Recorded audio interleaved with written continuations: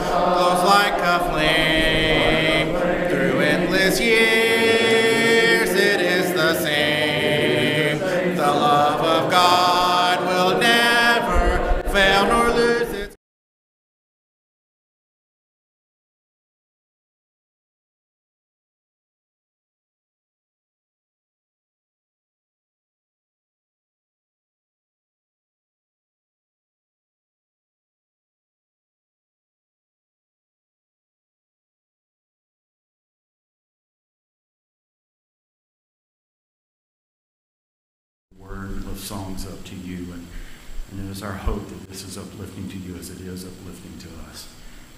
Uh, dear Lord, we have those that are not with us here today. We have several members that are sick. And we ask you to strengthen them, uh, heal their bodies, return them to us, dear Lord. And there's some, some scary things going around with the coronavirus and just other ailments among us here. And we ask that these be lifted up to you and, and you guide the doctors' minds and hearts. You ensure that those among us that are sick, that, that they can get better and will get better, dear Lord. Lord, I ask you to be with Matt and the other men that are leading this worship service this morning and with them, strengthen them. Help them speak the truth help our hearts and our minds open up and, and hear what we are being taught and, take it and spread it among those out in this, this world that, that so desperately needs it now, dear Lord. Dear Lord, throughout this week, let us be examples. Let us show you the grace that you showed to us. Let us show the love that your, your son Jesus came and, and shared among us. And let us teach others that that is just waiting for them if they are willing to be a part of it, dear Lord. Lord, be with this this week. Be with us this week. Let us do these things as all is in accordance with your will in your Son, Jesus Christ. Amen. Our song before the Lord's Supper this morning is Alas, and did my Savior bleed? Alas, and did my Savior bleed, and did my sovereign die?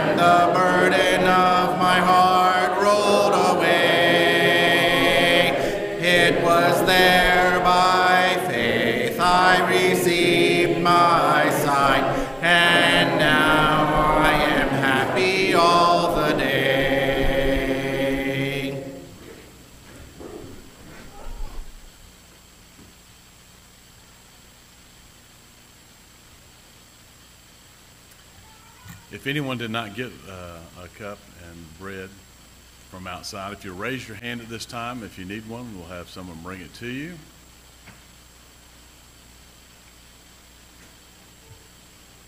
It's a great opportunity we have to take a minute out of our busy daily lives to stop and reflect on the great sacrifice that was made by our Lord and Savior Jesus Christ. He didn't have to come to this earth. He didn't have to die on that tree. But he freely chose to do so for the sins of the world. For every individual in this room, and every individual that's been, and every individual that, that will be. Like to take a moment and just clear the things out of your mind from this week. Forget about all the things that are going on politically, coronavirus, your finances, your family. Take a minute and turn your thoughts back to that cross on Calvary over 2,000 years ago where Jesus Christ hung and bled and died for remission of our sins. I'd like to read to you this morning from 1 Corinthians 11, starting the 23rd verse. For I received of the Lord that which also I delivered unto you, that the Lord Jesus, the same night in which he was betrayed, took the bread. When he had given thanks, he brake it and said, Take, eat, this is my body, which is broken for you. This do in remembrance of me. At this time, we'll go to our God in prayer for the bread. Would you bow with me, please? Our Lord and God, we're so thankful for the sacrifice that your Son made, that you made by sending him to this earth, that he was freely willing to die that we may have that hope of eternal life. Lord, this time we pray that you will bless this bread which represents his body that hung on that cross. Lord, we pray that we'll do this in a manner as well pleasing to you. It's in Jesus Christ's name that we pray. Amen.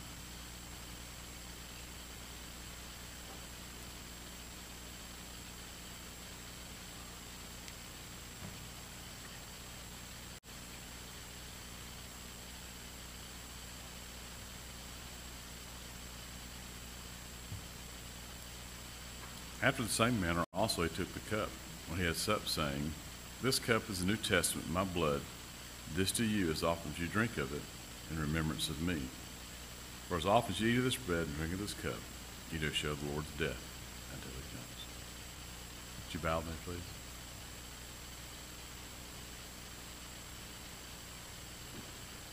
Lord my God, as we continue this observance of the Lord's Supper, we pray that you will bless this fruit of the vine that represents the blood of your Son that was shed on that cross.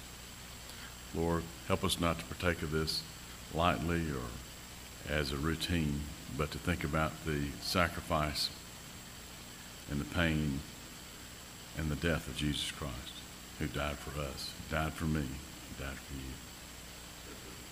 Thank you so much for all the blessings. We pray that you'll bless this fruit of the vine for us that you'll help us and be with us always, Lord.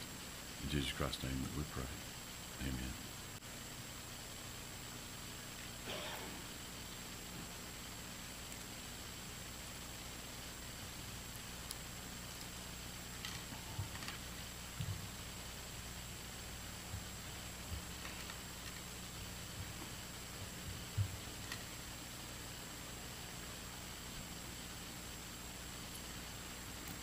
That concludes our observance of the Lord's Supper. If you didn't have an opportunity to give as you came through the lobby, there is a uh, couple of boxes out there for you to do so. You may also do it online. I know this is different due to coronavirus. We can't pass trays and do the things we're so accustomed to. But if you'll do that, we'll certainly appreciate it. And this time, I'd like to pray for that offering. Our Lord and our God, we're so thankful for the blessings you've given us. We take these blessings so often for granted, Lord, for the food we have to eat, the roofs over our head, warm beds to sleep in, for our jobs, our families, our cars, all the things that we have that we consider routine and mundane, so many people throughout the world do not have. Lord, so thankful for this, and we would ask at this time as you, uh, we return a portion of what we have earned, that you will help us to use this money as well to spread your word throughout your kingdom, and that you will help us to always remember that all blessings, Lord, come from you. Thanks much again for all the blessings you give us. We pray that you'll continue to help us, watch over us, and love us, Lord. For course, in Jesus Christ's name that we pray. Amen.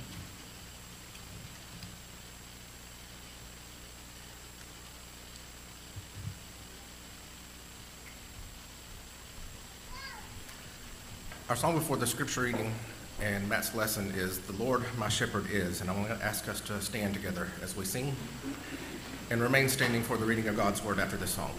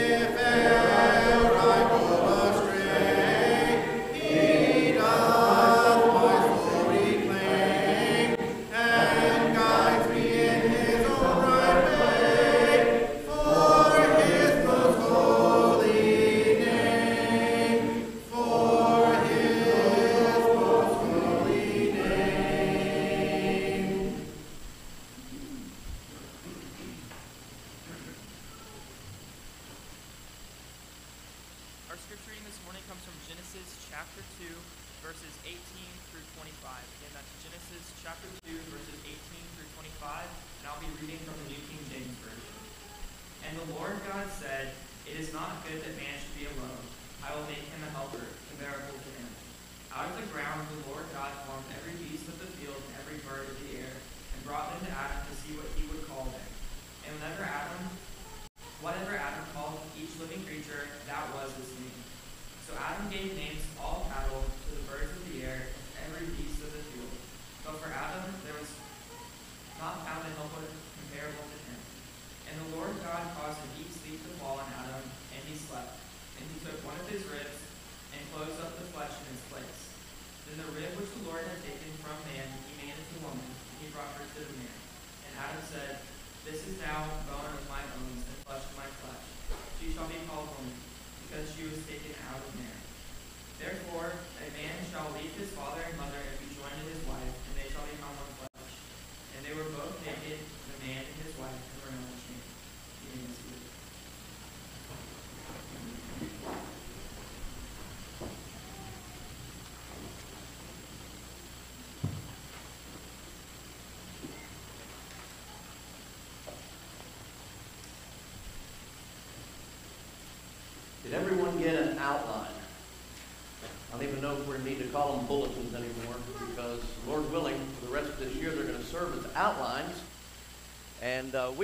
been talking about doing this for a few years now. And these are even for our little ones to fill in the blanks. The outline is on here, but there are blanks to be filled in, and perhaps uh, will uh, help us keep more focused on, uh, on the lesson and the thoughts presented as we continue our theme for this year of unity.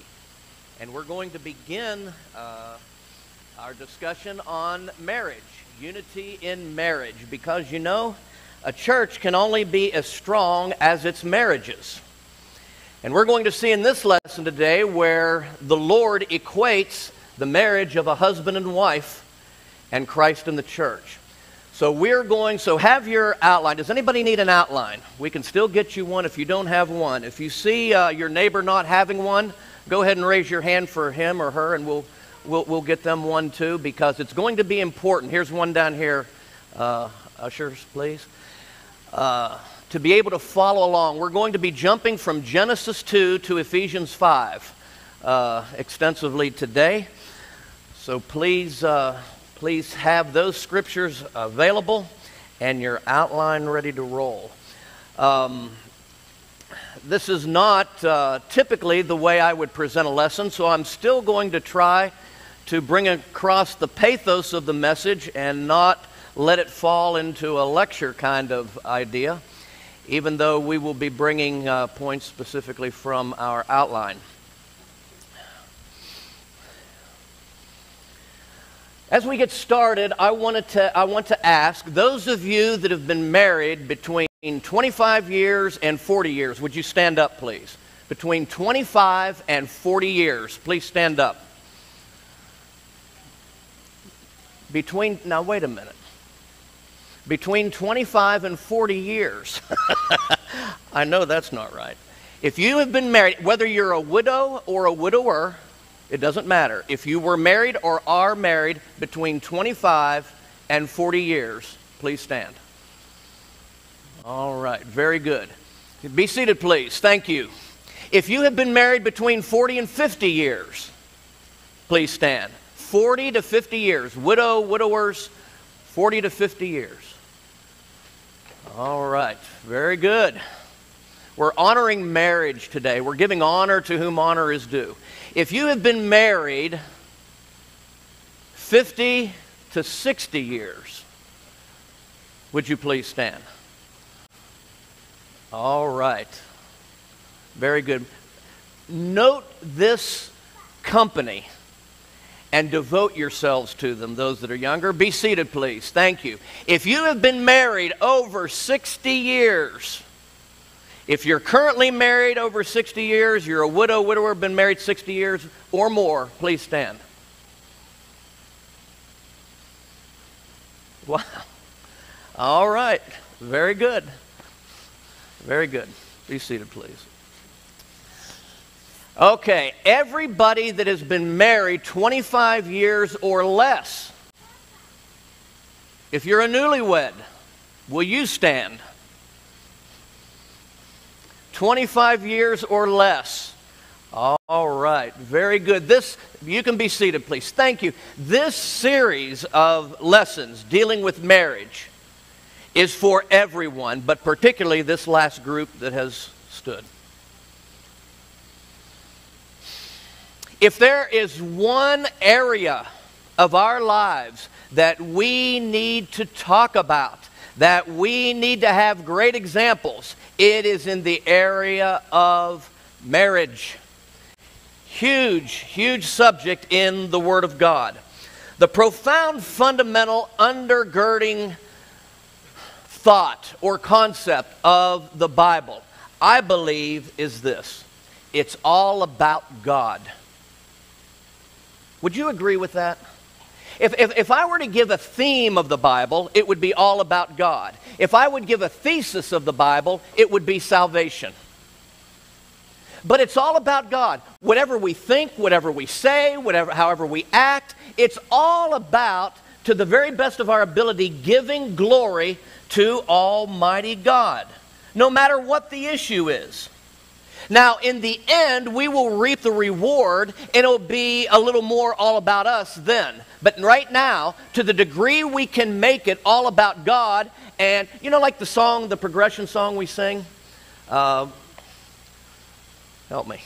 None of self and all of thee.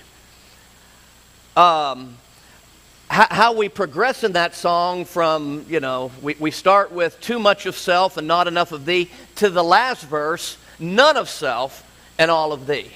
That's the maturity in, in, that we see in Christ.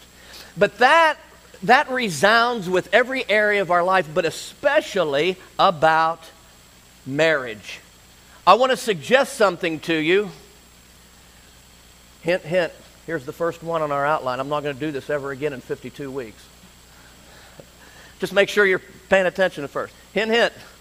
Marriage belongs to God. God holds the patent. So go ahead and write the words in that first line. Marriage belongs to God. It's not my marriage. It's not my body. It's not my house, my car, my family, my kids. It is all God's. God is the creator, and by rights of creation, He holds the patent. So it's not just a matter of, am I happy in my marriage? God wants me to be happy. If I hear that one more time in counseling, I think I'm going to flip. I mean, I, I want to climb the walls when I hear that. It's about God. Make yourself happy. And when both partners are doing that, that's your marriage made in heaven. But that marriage belongs to God. There's not only one set of handcuffs, folks, there's a second set, a third set, where the other arms are, are tied to God. God dictates the terms, and we follow those terms because we love Him. And He holds the patent. Marriage must follow His design if it's going to be a marriage. And that marriage is one man, one wife for life. That is what God's Word teaches. Well, when we think of marriage, marriage is a contract, not only between two people, but between those two people and God. It's not an accident. Marriage isn't something that was initiated or begun in the mind of man just to, for whatever reason. Marriage was something that is ordained of God. And when we think of the three great institutions of life, when we think of the church and the government and marriage, guess which one was first? It's this one. It's the marriage relationship. You and I are not at liberty to dictate what that marriage looks like. Though many try to do that today. God was the first father to give his daughter away. And we see that in Genesis chapter 2. Look, beginning at, uh, at uh, verse 18. God declared that it was not good for man to be alone. That is God's universal principle. That's why he established the church, the government, and marriage. Man was never intended to live life on an island by himself. It is not good for man to be alone. So, whatever else we read in Scripture, that fundamental idea needs to reign supreme. It is not good for man to be alone. So, God made him a helper, comparable not exactly like. Amen. Comparable. Bone of his bones and flesh of his flesh. He looked among all of the beasts that he created, and he didn't find a suitable partner for the man. So Adam names the creatures, and then after that task, God caused Adam to go to sleep. And from Adam, he was going to bring forth the crown of all creation. And from a rib of Adam's side, he took it and formed the woman. And here is God in the first marriage ceremony giving away his daughter. The Bible says he brought the woman to the man. And then became from that a one flesh relationship. Marriage parallels our relationship with God.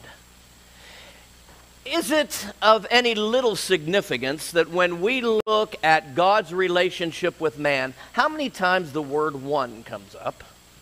And when we look at man's relationship with his wife, the word one comes up.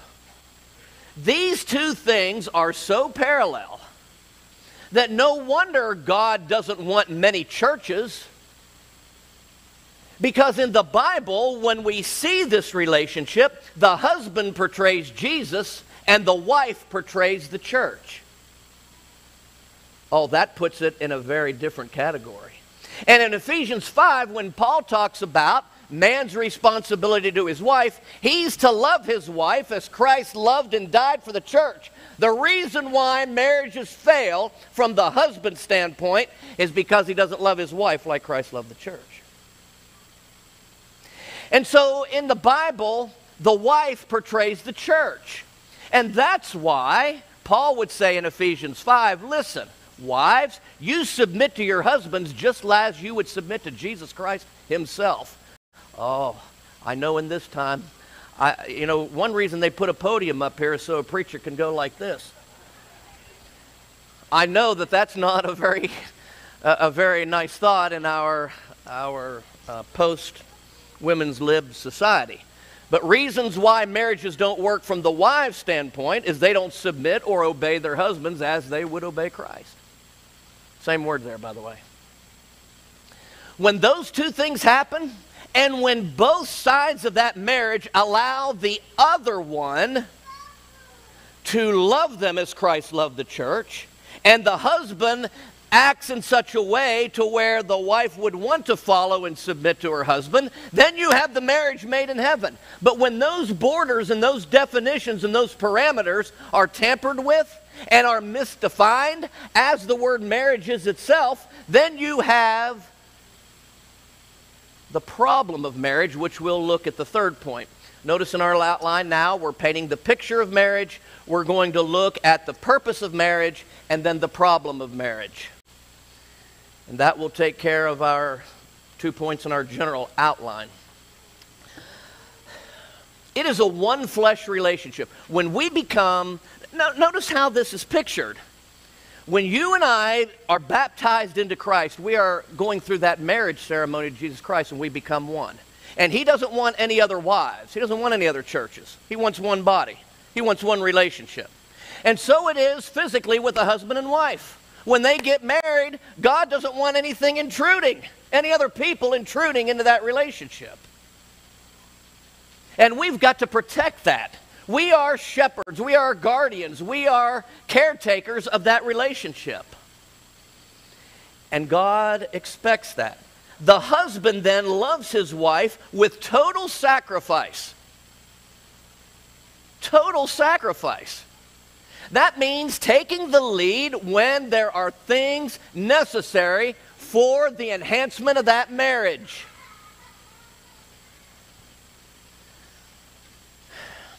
You know, the, some, of the, some of the great ways, and I don't want to get too far ahead of myself. In fact, I'm not going to go there. I'll go there later.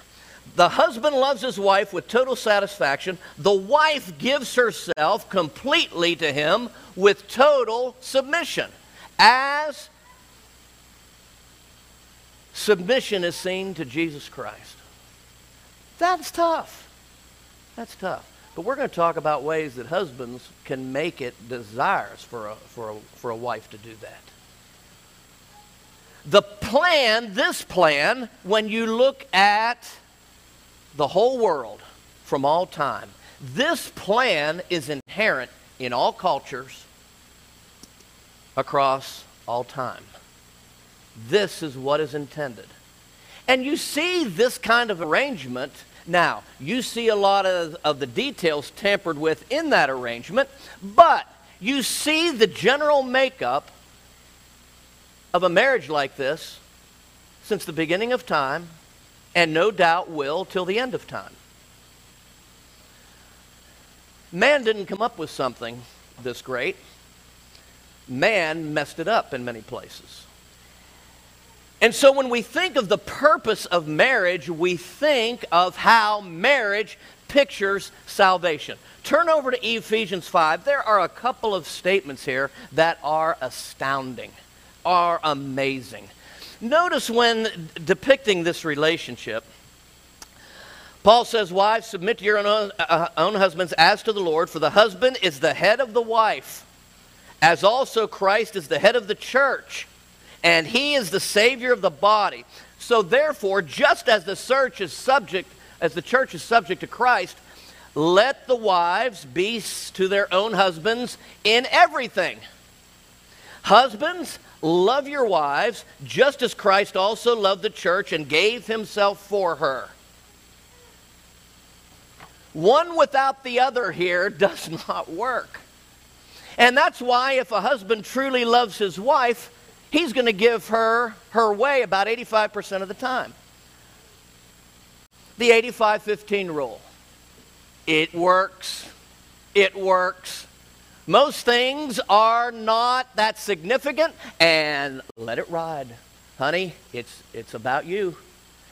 God does that with us, right? He gives us our way every time He can.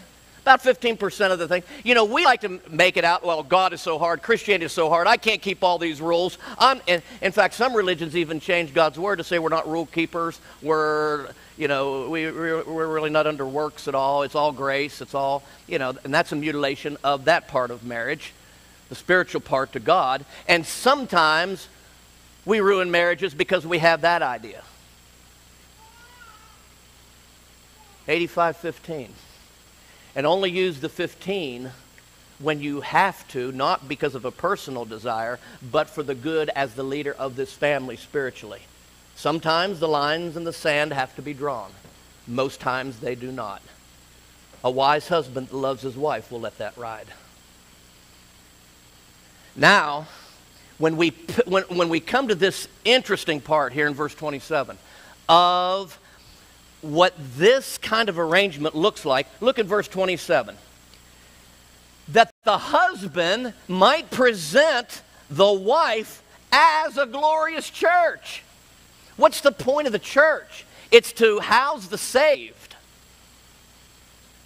And so, as we're married to Christ, Christ the husband wants to present us a glorious church when he comes back and we go to judgment. He wants to present to his father a glorious church well, here, the husband has a responsibility as he lives in this life to present his wife as being sanctified, as being without spot and without blemish. Well, in order to do that, the husband, as the head of that relationship, needs to take the spiritual reins. And guess what husbands and wives need to do together? They need to read the Bible. You know, there are husbands and wives that don't read the Bible together, they don't pray together. Let it never be said in this audience. And if that is the case in your home, husbands, get off of your spiritual lazy and start. Because you have the responsibility, according to Ephesians 5, to present your wife and to present your children as glorious spiritual beings to God just like Jesus, as the husband does with his wife, the church. It's amazing the correlation here between the two relationships and the one flesh relationships where the two become one. You know, it's interesting when we're when we are dating Jesus Christ before we marry him in baptism, we, we, we study about him. We're, we're dating, we're getting to know him, just like a, a man and a woman would do. And then before that marriage ceremony, we, we fix in our minds how we're to present ourselves to our spouse. You know why many marriages fail? It's all about them. Honey, I love you because of what you do to me.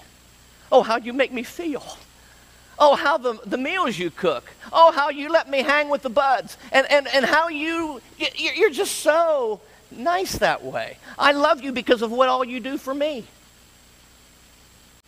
You know, if we get one inkling of that with our children or with those that we might be talking to before they get married, we better hurry and encourage them don't, don't pull the trigger yet. You got some growing up to do.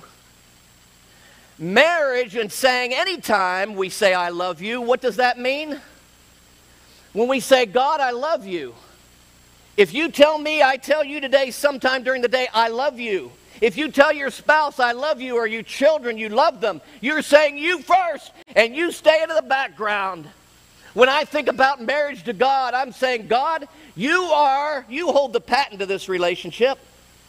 It's you first and it's my spouse first. And when you have two spouses arguing over who can do the most for each other, that's the marriage God wants. That's the balance one to hit. But the more that we, it's not about us, right? What's the theme of the Bible? It's all about God. So in everything that we do and think, it should be how is this about God? How is this about God? Not me. And marriage is no different. Marriage is no different. Marriage, the purpose of marriage is to show the picture. And guess who the best evangelists are? What do we find from the New Testament? Husband and wife teams, men and women, going two by two. Why? Because they picture in their marriage the picture of salvation of the church. That's going to be a great lesson to teach, right? But you've got to develop that in the home before you develop it anywhere else. Great marriages make great churches. Great marriages make great governments. Great marriages make great countries. Great marriages make great neighborhoods. Great marriages make everything great. But what's my concept of great? What all it brings to me? No, it's how much I can give to it. And that's the way it is with any relationship as well, isn't it? The greatness is determined by its weakest link and how much they are willing to give to it. The purpose of marriage also shows companionship and intimacy. Companionship and intimacy. It's to be had in that one flesh relationship and not outside, at least to this degree. They became one flesh. I think we understand what that means without any great elaboration. And so that spiritual intimacy, not necessarily from a physical standpoint, but that spiritual intimacy is to be seen in our own individual lives with Jesus Christ, married to Him. And you see how one plays off the other. If our intimate spiritual relationship with Christ is what it should be, then guess what that intimate physical and spiritual relationship with our spouses should be? Those that love God the most love each other the best. And we control how much we love God, and we control how much we love our spouse. We don't look heavenward and say, God, if you would just change your word a little bit, I would love you a lot better. We're in total control to love or not to love. That's, that's why God loved us. He gave, he gave us choice. And so it is in a marriage both parties must choose to love each other and not focus on the negative aspects of the spouse. Because you're always going to find one, aren't you? You know that, and that's why you justify it that way sometimes. Don't look for that. Companionship and intimacy. Also, a third purpose of marriage is procreation. God said to that first couple, be faithful, be fruitful, and add. That's right. My sons and daughters in law hear this all the time. Be fruitful and multiply. Be fruitful and multiply. Grandparents, especially, use that a lot, right? Be fruitful and multiply. But that doesn't come from man either. That came from the, the Creator. That is a purpose of marriage. But as we see the picture and the purpose of marriage, there are also problems that, that come into it that, uh, that, that need discussion. Right? Sin causes a loss of intimacy in everything, right? Sin in our lives causes us a lack of intimacy with God. We're not as close to God as we should be. And therefore, we don't communicate with Him if we lose this spiritual intimacy with Him. Same way it is in a physical marriage. When sin enters our minds and our lives in either one of the parties, it loses its physical and spiritual intimacy. God never in- intended for that to happen. Marital intimacy, spiritual intimacy, physical intimacy, whatever closeness one has in any relationship, it's lost because of sin. You know, the first thing after sin was a cover up, right? The man and the woman disregarded God's law and not to eat of the tree that was in the middle of the garden, the tree of the knowledge of good and evil.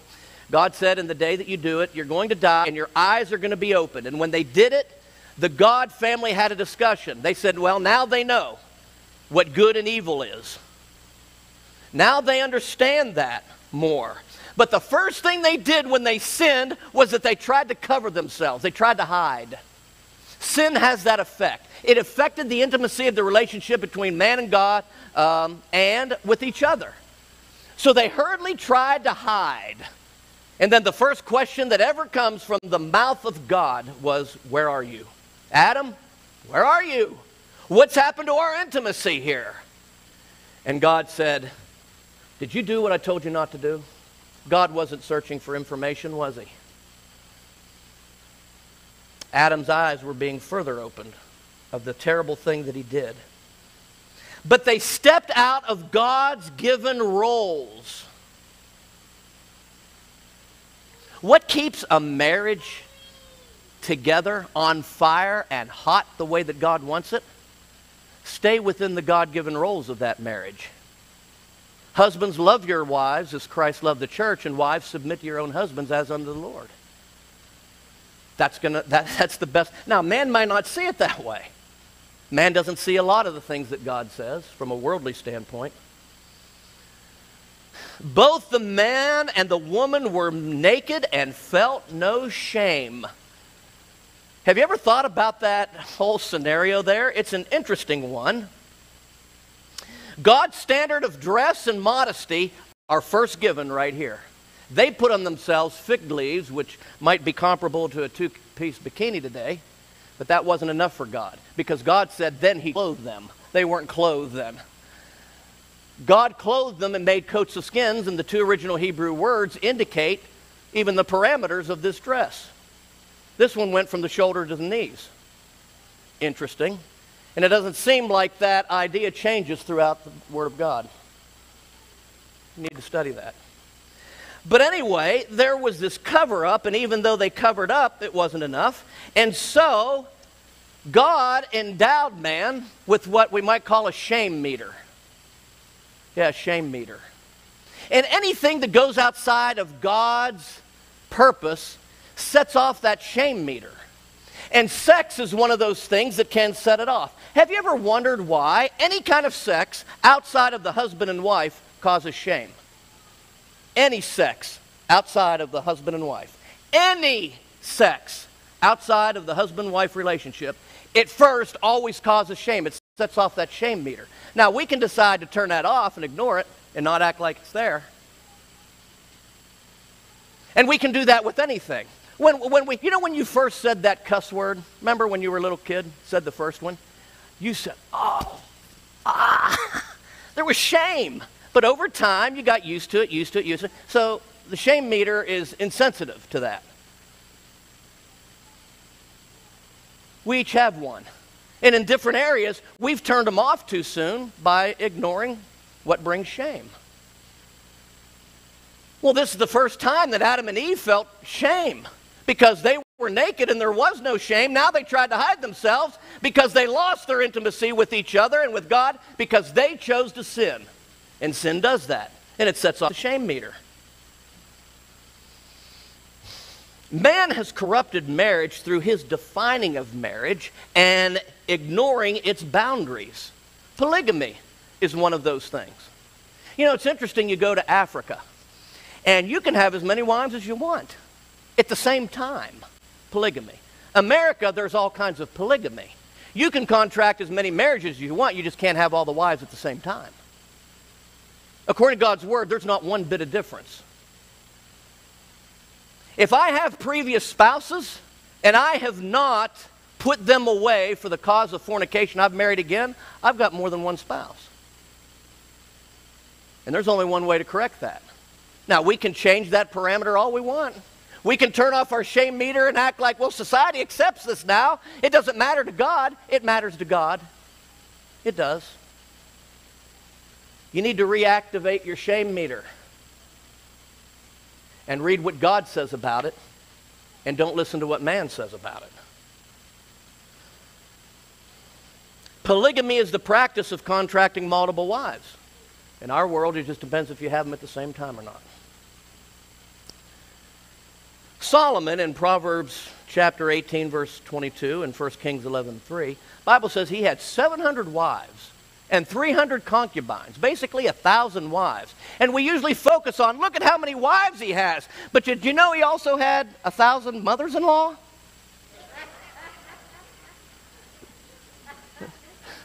that to me is just as significant. Well, anyway. But the Bible says when he when he played around, and, and don't use Solomon and, and David and, and the Old Testament characters, and they had many wives, as justification for having many wives either at the same time or at different times today. Jesus said in Matthew 19 9 that for, from the beginning it was not so for man to tamper with the marriage relationship, and man has been doing it ever since and will do it till the Lord comes again. But it doesn't make it right. Jesus said something totally different. He said, Whoever divorces his wife, right? Except for the cause of fornication. Doesn't matter if they get drunk, doesn't matter if they're abusive, it doesn't matter, that doesn't matter. Except for the cause of fornication. One exception.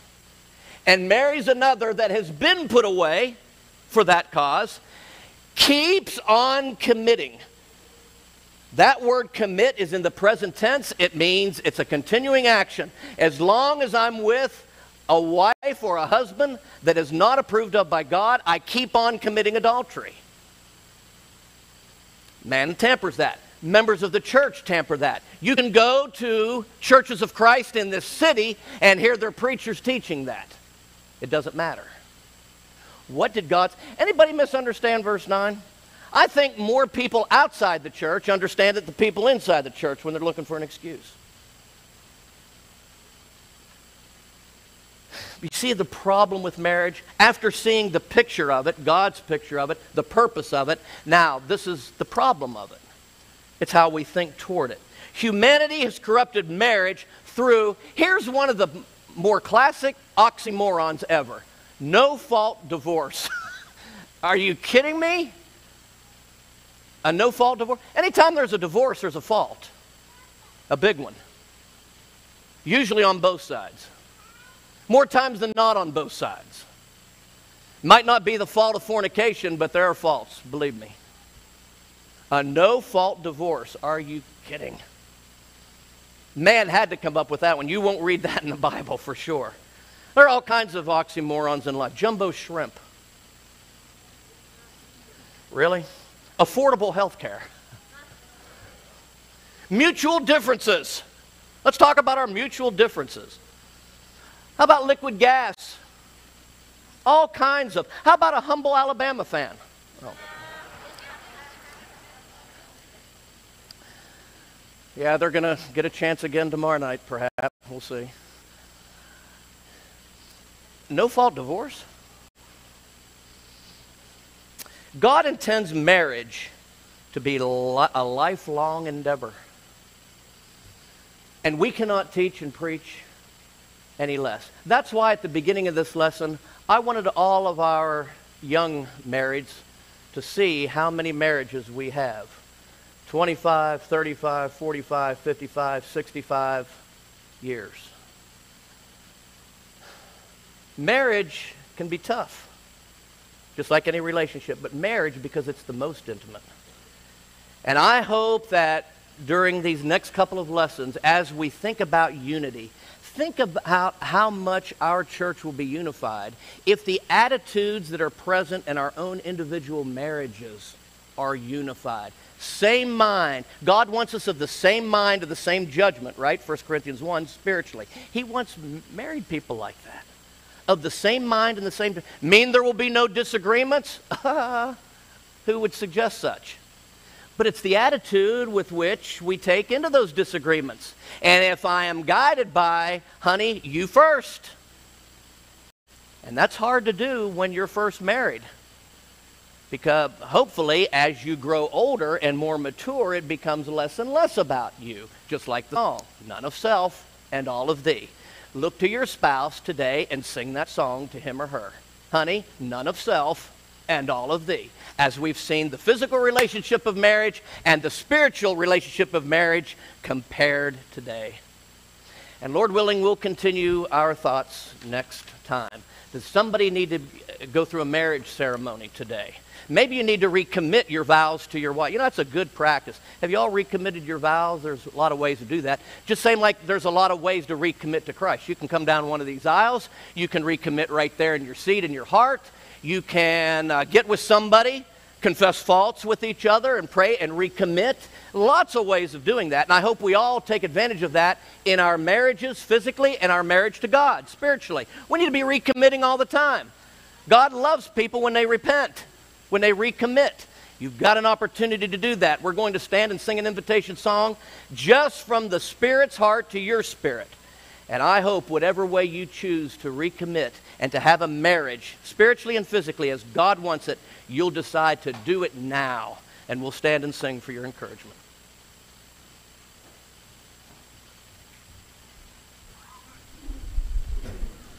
Who at the door is standing, patiently drawing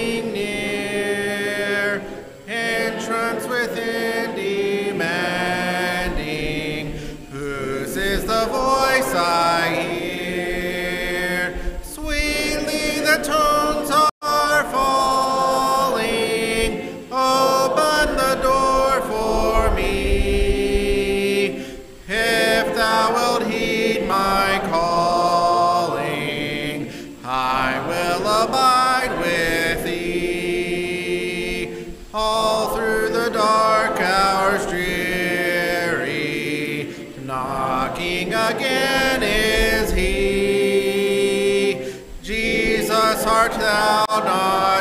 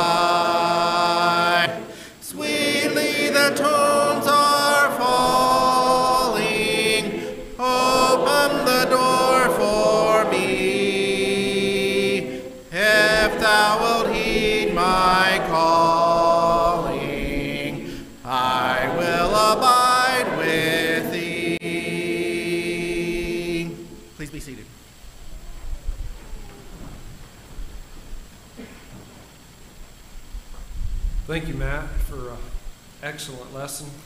Great reminders. Uh, I was thinking I could listen to that one all over again right away. That was that was great. Uh, it's good to have a reminder. It's good to be back with you. I've been uh, ill a little bit, as you may have heard. Thank you all for your prayers and cards and all those things and well wishes. I appreciate that. I'm not 100% yet, but uh, most of the way back and uh, happy to be back. Uh, with that, we want to think about uh, many of the folks uh, that are sick and, and suffering, and uh, we're going to offer a prayer for those things at this time. Let's bow. Dear Heavenly Father, we're thankful for this Lord's Day. We're thankful for the opportunity we've had to come and worship you. We're thankful for uh, the lesson from your word.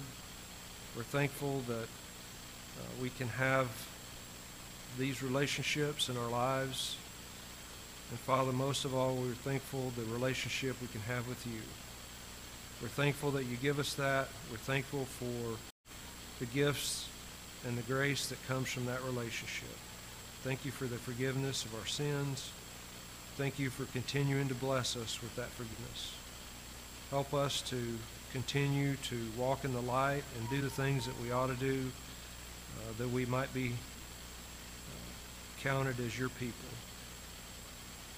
We pray that you be with us, that we would look around about us and see those that don't enjoy those gifts, and we would have the desire and the, the interest to talk to them and and tell them about the, the good news. Father, help us have the courage and, and strength and ability to go do those things. Father, we're mindful of those that are sick, those that are suffering with the, the COVID virus. We pray that you give them their health. Father, we're thankful for those that have been sick and recovered their health. We're thankful for those blessings. We pray that you be with those that are entering hospital for surgery and procedures and, and things. We pray that you would give those that minister to them, the doctors and nurses, the ability and the, the skills to do what they need to do to bring healing. Father, we pray you be with them and their families as they go through these difficult times, as they're separated. Help them to be comforted. Father, we're mindful of those that have recently lost loved ones. We pray that you'd, you'd comfort them in uh, the lonely times and the times without. We pray that we would not forget those and reach out and comfort those as well. We pray you'd be with us through the further scenes of today and this week and and give us safety and look for those opportunities to share the good news. We ask all these blessings in Christ's name. Amen. We'll have one more song and be dismissed.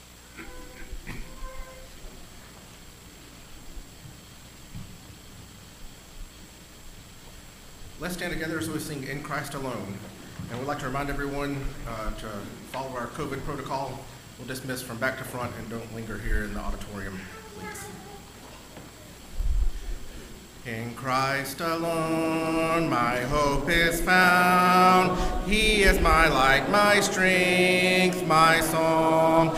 This cornerstone, this solid ground, firm through the fiercest drought and storm. What heights of love, what depths of peace, when fears are stilled, when striving cease my comforter, my all in all. Here in the love of Christ I stand, in Christ alone, who took on flesh, fullness of God in helpless babe, this gift of love and righteousness, scorned by the ones he came to save. Till on that cross as Jesus died, the wrath of God was satisfied, for every sin on him was laid. Here in the death of Christ I live,